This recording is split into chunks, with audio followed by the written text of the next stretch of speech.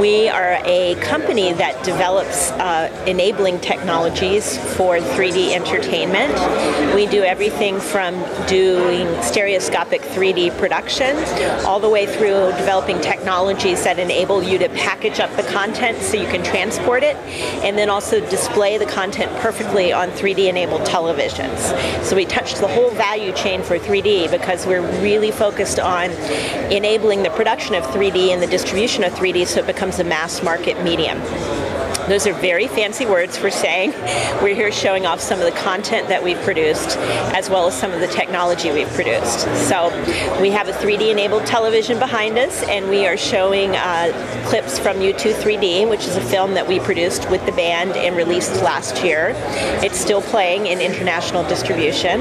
We also have some footage from some live football broadcasts that we did with both the NFL and with the college um, championship series here in the US called the BCS.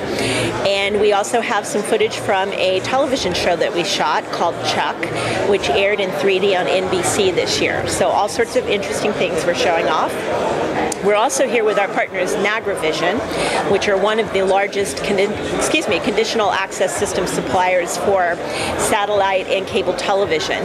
They enable pay TV solutions, and we have actually built uh, what we call a user experience or an electronic program guide that will allow you to search through 3D content on your pay-per-view television.